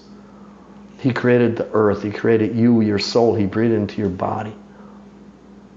We cannot do without Him because uh, you will mark my words 20 years from now. It's not going to get any better. The society cannot function. When you destroy family, especially, you destroy the state. The state is modeled on the family. The family is the, it's the nucleus, is, is the building block of a society. The tribe. Yeah. And if, and if you start confusing it, if you think that men and men can be a family and have children, and woman and woman, or multiple, or whatever, no, it's not going to work. So you have all these groups and all this chaos, all these creeds, everybody professes a different creed. You can never get united. That's why Muslims are so vehement about if you say anything bad about Muhammad, if you live in those countries, you're going to get killed because mm-hmm. they've learned that to keep you have to keep a common creed. Now, I'm saying this is a good example that you're going to kill somebody who wants to convert to Christianity. Yeah. But they understood it, and it was the same in medieval Europe. You know, if you're a heretic running around preaching anything than a gospel that the church taught, uh, you know, they were not going to deal with you kindly either, uh, because for the sake of the peace in the society, they had courts and they had inquisitions. Okay, wasn't as severe as, for example, in Islam. Okay, mm-hmm. but but they did they did do that because they understood very well if there is no common uh, fact of the society, common creed. I always come to that creed that you profess. Then the society cannot exist. And this is what happen, This is what happens to the Western society today, is that it's falling apart on account of this. So, so we touch up many really, really touchy, touchy subjects. Mm-hmm. That, uh, uh, but we not need to be afraid to talk about them. You know, uh, and in fact, we need to discuss these things. I could be wrong on some of the stuff. I can't cover everything. You know, I did, of course, but that, that's up for debate. That's that's why we, if you're a reasonable person, you will respect. I have many Muslim friends, for example, mm-hmm. because I compete in Muslim countries, yeah. and oftentimes I had discussions like these with them. Okay.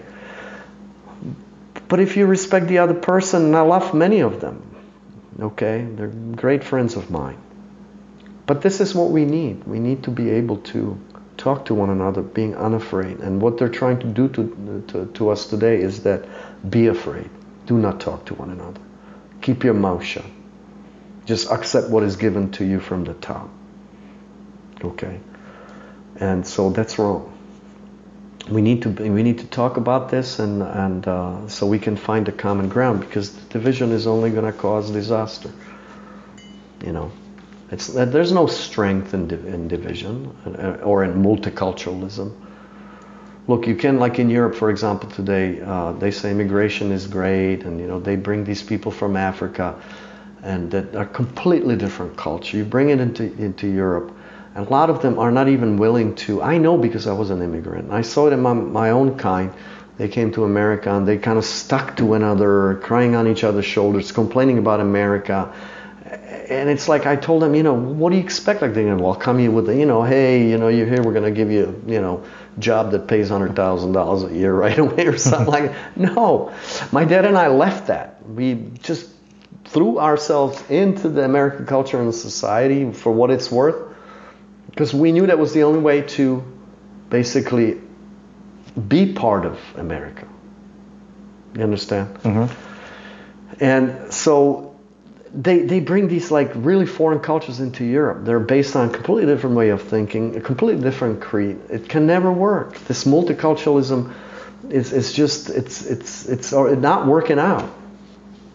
I mean, the thing is that worked for America though. We have like we have multiple cultures, multiple religions. I know, yeah, this is melting pot. And it has to a certain worked, extent it worked, but York. we're starting to see it actually collapsing a little bit. How many people live off of uh, racism here, here, for example? Say that again. How many people live off of racism here? The so-called people that are against racism are the very ones that profit from it. Sharpton, Jackson, all these people. They don't want the racism to go by the wayside. Yeah, they're they're um, fear mongers. Yeah, exactly. And what is this like white privilege stuff? I come from a culture, I never owned a slave. I come to live here, I want to get along with everybody, and I, I have to be guilty of something because I'm They white. do. That's absolutely ridiculous. That's that's that's racism also. And most um, like most people, most generations now don't have fam, Yeah. know, um, don't have ancestors that own slaves. Look, you come from a culture in Puerto Rico, for example, where finally your people were catechized way back when your ancestors, mm-hmm. okay, the Indians, they became Catholics. You profess the same creed. Okay. Since this is not about color, you understand. This is about creed. That color has nothing to do with it. And we try to divide by the color. And this is still happening in this country. And you go to Brazil, for example, nobody gives a shit what color you are. People get along just fine. But here I feel like I have to walk on eggshells all the time, you know? Like being afraid what you say in front of who, you know, you don't want to insult the black people because you can't talk about it openly. So uh, the, the, it's it, this the color has nothing to do with anything really. The, this is such a concept that's only it's a political concept. Yeah, you know there are there will always be racists because you look different. You're dark skinned, so you don't look like me because I'm white. You know, mm-hmm. whatever. There are those bigots out there. Right? You always find those in every culture. Right? It's like it's, and it goes the same for, for the blacks or you know anybody. You know, They're- they're just they can be just as racist as the white people. Just because the current injustice that's of 100 years ago was done mainly to them doesn't mean they're not capable of the same. It's a human nature. You know, it's a sinful human nature. It's a fallen human nature. So, there. So we we got way way off topic. well, it's good good conversation, but like we We got way off the way off topic. So we'll go we'll go to a fun question. huh? Okay. We'll go to a fun one. Um, here's one. If you wake up tomorrow and gain any power or ability, what, what would it be and why? Basically, if you wake up tomorrow with a superpower. What would I do with it? Yeah. I would try to fix things in the world, I guess. Uh, it depends what kind of a superpower it would be, I guess. That would depend very much on that. It would have to be more specific as to, uh, What's any anyone you want? well, if God gave me the ability to convert people and to see things His way, then I would like to go spread the gospel. That's what I would love to do. I would like everybody to know that Christ died for their sins and that redemptive power of His sacrifice is there for them to take. That's a grace given by God. And that would unite the world and make us all really easy and uh, we would love each other. No, that's not going to happen probably in this world. It's going to happen in the next, but that's if I had that superpower given to me by God, that's what I would do. I mean, flying around like a Superman. Superman obviously never fixed anything, you know. I mean, you you fix something, but it's like you patch one hole and then another one opens up in the hole of the ship on the other side. So it's like constant, you know. it goes in circles. um, oh, here's a good one. If you could travel in time into the future or the past, which would it be and why?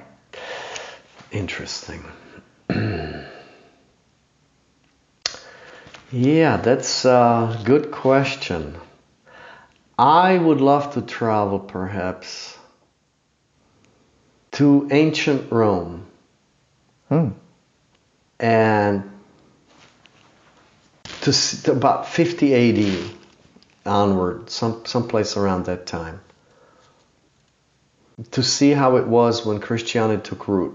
Okay, and the the, the sort of the nature of the persecution, and uh, that or to medieval times, and because there's so many things about medieval times that we either uh, idealize or do not understand how things really were. You know what I mean? It, it- you know, there's so many things that I, at so many places. It would be on the steppes of Mongolia. I'd like to be there. You know, I don't know. I cannot answer this straight. I mean, it, it's just that this. There's this too many would be- interesting times. There would be too many places that I would like to go. Okay, if I had the time machine, uh, I I would just hop around. Just keep going. Let's ah, keep go here, going. go there. Yeah, today this, today that. I would like to see. I, I would like to see actually. Yeah, I would- I would like to see how it really was. Okay, Mm-hmm. do we have the history right?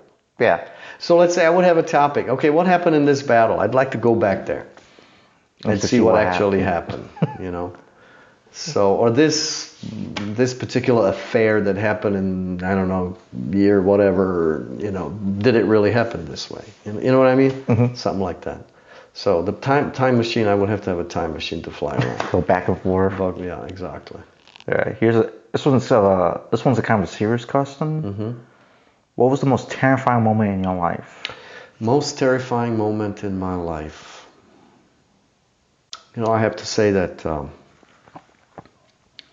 I have been very blessed in actually not having one. hmm I've had difficult moments in my life, obviously, not so much growing up, but especially through the immigration, the very trying times. But I never really um, despaired. I always kind of thought that, you know, toughen up, take it as it is. It's not always going to be this way. I, I I was only one time maybe danger of life being attacked by somebody, but even that didn't freak me out. I don't know. Maybe deep inside, I always somehow trusted God that He would pull me out of it. I, I never had like uh, some kind of a traumatic stress to the point where it would like just be haunting me. So no, I, I mean, I've seen death. I've seen, you know, difficult things, but um, a lot of people will never experience. But I never, it never like you know, it never affected me to the point where, you know, I mean, I, even today, I mean, okay, if I had to die, well, I'd die. You know, okay, fine. I mean, I, I know what's waiting me on the other side.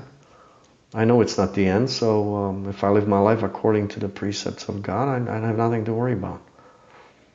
I have the hope you know, I don't despair. And sometimes I despair a little bit. Do I have the, do I have things right? Am I really, you know? I mean, everybody goes, but I don't despair to the point where, like, you know, I would, I would get to the get to that point where I would have like a really terrifying moment. It's overwhelming. It's basically. overwhelming. I mean, you get scared. You know, you had moments where, well, that was close. Something like that. Um, yeah, that, I'm- that's how that's how I would answer it. Yeah. What is your most treasured memory? Hi, my most treasured memory. I, you know, I hate to say that, but uh, I, I go back to the religion. People are going to get tired of it and listen to it. I'm coming back to the church. You know, first time seeing the the uh, the elevation. And if people aren't familiar with the Catholic Church, what does that mean? Elevation. It's when, during the consecration of the bread and wine, when priest lifts the host up, mm-hmm. which is the moment when Christ was crucified, because the Mass is representation of the Calvary in an unbloody manner. Mm-hmm. Okay. So that was the moment that was that moment of reversion back to the faith, back coming back to the church. I think that's like the the, the moment, yeah. So yeah, that's how I would answer it. Okay. What's the biggest sacrifice you made in your life? Biggest sacrifice. Yeah, I made many sacrifices. But I do have to say I've been really blessed also that uh, at least I look at it. I no matter what difficulties I ever went through or if I made any sacrifice, I never looked at it as like being the biggest or great. I, I never thought of it in those terms. Um, biggest sacrifice. One of the biggest sacrifices was basically leaving my country Mm. into the unknown, leaving everything behind. You know, leaving with, uh, coming to America with a suitcase of like, you know, worn out clothes and not knowing what's going to be tomorrow. So that kind of a sacrifice that you left everything behind your family the family got divided. My sister and my mother stayed behind because the whole family couldn't go. They wouldn't let you go to the west you know. As a whole family it was impossible. So we knew we were going to get separated. We just didn't know it was going to take five years to get reunited. And probably if my dad knew he would probably never leave so so i guess that was but I was kind of giddy. I was young, you know, so I, I was ready to fight and I was ready to overcome anything. You know, you're you're an idealist, you know. When you're young, you have the courage and the strength. That's why you go into military. I, mean, I need that attitude in the military, like you're invincible. Yeah, so that I, I think that would be the that. Okay. When was the first time you fell in love? Oh my gosh. I was a little kid. There was this little redhead in a kindergarten. Little red. in a kindergarten, and uh, her name was Lutzing, Lu- Lu- Lucia, Lu- Lucia, Lutzinka, uh, because we have diminutives, you know, for the name. I remember her very vividly till today. And uh, all I can see is this red head, and I was kind of like enchanted with this girl. But then, really, uh, it wasn't until like my late teens I, I met this girl from she was from America. She was a daughter of immigrants uh, who immigrated in 1968 into to America. He was a, a professor at the University of Austin. I forget of what. I think mathematics, if I'm not mistaken. And this was back in the um, uh, late 70s. She came for a visit because there was still part of the family in Czech Republic, in Prague. I, I, I got to meet her and I fell in love with her. I mean, it was like love at first sight. I was crazy about this girl. And we had, for a couple of summers, she would come back. We had, you know, holding hands and all this like really innocent stuff. There was none of this like, you know, 13 year olds having sex nowadays. No, this was really naive. That was sweet stuff. Yeah, it was really. Uh, I, it was a different society, even under communism. There was still that perception of, oh, this thinking that we were still innocent, you know. And it wasn't unusual for people to fall in love and not necessarily have sex, you know. To be a 20 year 20 years old and be a virgin was not that uncommon. Mm-hmm. So that that you know, I was like my 17, 18, I was like something like that. Yeah. So this was the girl. Yeah. I, what happened to her? I have no idea. She's if she's still in Austin. Last time I heard, she was actually in Prague, uh, working for an American newspaper. They're like for the local the, the expat expats that are living in, in like in Prague. And I meet a lot of those when I go there because Yeah. I travel to Czech Republic quite a bit. So it's funny to talk to Americans that live in Czech Republic. you know. Um, I think she was working for that paper. Whether she still does or not, I don't know. It'd be interesting to meet her. So there. All right. So this is the last question. I ask this question to everyone. It's a serious question. Mm-hmm. And it's a two-parter. So, what is the worst thing you have ever done in your life, and what is the best thing you have ever done in your life? Oh my gosh, the worst thing that I have ever done in my life. Let me think. That's like going to confession to a priest. except, except he keeps it to himself. He can't divulge to anybody. But then this is like public here. Uh, what's the worst thing that I have done that I should be ashamed of? It's something that uh, we, we call this sin. okay. So there's this one thing that I remember vividly. I had a best friend. This was my best friend when I was a kid. For many, many years. We were best friends until I, we parted company when I immigrated. And he had this little knife. You know how boys are about Yeah. pocket knives. You know, when you're growing up, right? You want to have your Yeah, you want the little tool Well, he had this. It wasn't a pocket knife, but it was like the the the, the handle was made of like cow horn. It was this, it was a small blade, and it had a cow horn uh, sheath. Okay, it was this beautiful craftsmanship, and I coveted this thing that he had, and it got to the point where I was like willing to even forfeit our relationship, this friendship that we had, just for the sake of having that knife, and I stole it from him, and I hid it, you know, and and he was so distraught over it, you know, like oh, you know, it's like it's my dad's, he gave it to me, and it's like because I, I came up with some story, oh, I was playing with it and the in the grass, someplace mm-hmm. fell, you know, I came up with some concoctions, and I felt so bad that you know, he went home crying, and it's like, so two days later, my conscience got better of me. I dug it up and I said, I came up with another lie. I found it, here it is. I never told him I stole it. I never told, till today, I never told him. But I gave it back to him.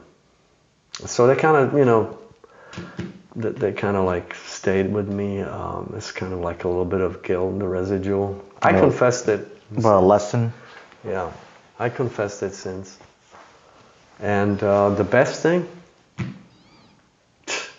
don't know. What's the best thing I've done in my life? I'm still waiting for that one.